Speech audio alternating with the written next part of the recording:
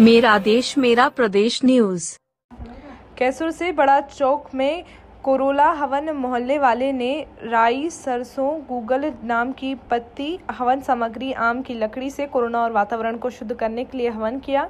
इसमें सुरेंद्र सिंह जी, सिसोदिया सर जी ने बताया कि ऐसे हवन पूजन करने से वातावरण में शुद्धिकरण के साथ साथ इस महामारी में कीटाणु को विनाश होता है। श्रीमती करण परमार ने बताया कि हवन तीन दिन तक चलेगा।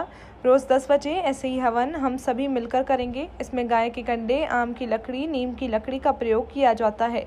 कैसूर से संवाददाता अनिल परमार की रिपोर्ट।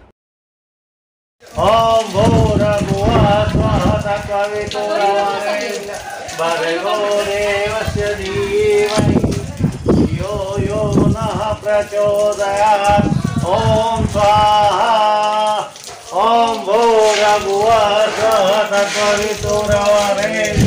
भर्गो देवस्य धीमहि यो यो